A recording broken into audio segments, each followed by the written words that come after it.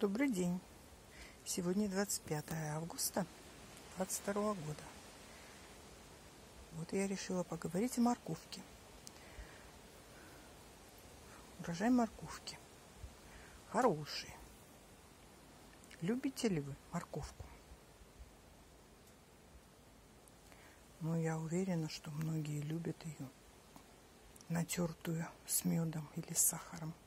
Это очень вкусно. Это деликатес прямо, как я считаю, как по мне.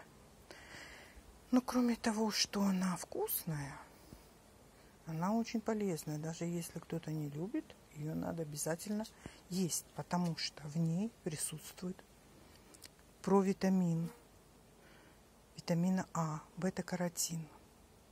Так мы учили в институте. И вот этот каротин, он должен превратиться в организме витамин А. Но он превратится в витамин А только в одном случае, если будет присутствовать определенный жир. Животный, животный жир. Либо сливки, либо это будет сметанка. Тогда он превратится в витамин А который очень полезен для зрения. Мы знаем, что если недостаток витамина А в организме происходит, у человека куриная слепота проявляется. Ну, кроме того, витамин А очень хорошо действует на кожу лица, она становится гладкая и красивая. Вот морковочку собрали как она перезимует.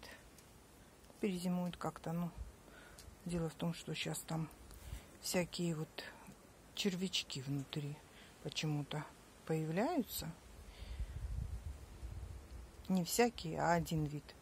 Такой проволочник он называется. И он по мере хранения морковки, он проходит всю морковку практически. И получается, что изрезаешь, изрезаешь ее, в итоге все изрежешь. Там остается совсем мало. Ну, не хочется же с червяками есть.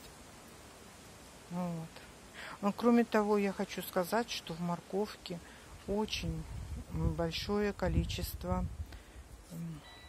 вот этих волокон клетчатки, клетчатка, а, которая очень полезна для пищеварения, для желудочно-кишечного тракта, ну в итоге для всего организма.